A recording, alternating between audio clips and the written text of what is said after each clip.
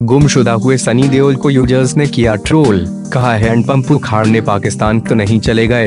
Actor से सासन बने सनी देओल गुमशुदा हैं। पंजाब के पठानकोट में जगह जगह दीवारों और खंभों पर पोस्टर दिखाई दिए। उन पर साफ़ साफ़ लिखा था गुमशुदा की तलाश।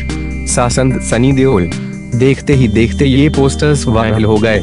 बात जब सनी देओल तक पहुँची तो उन्होंने तुरंत इस पर प्रतिक्रिया दी।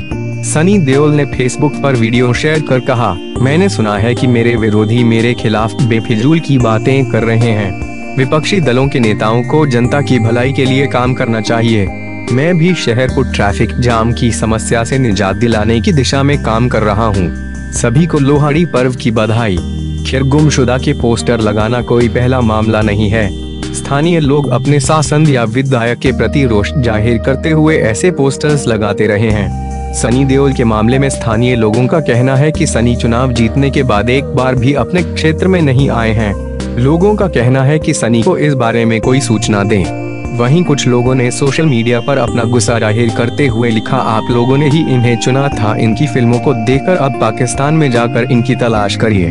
कहीं हैंडपंप उखाड़ रहे होंगे। एक यूज़र ने लिखा, सनी अपनी जगह ठीक है, केवल वोट देने वाले ही गलत हैं।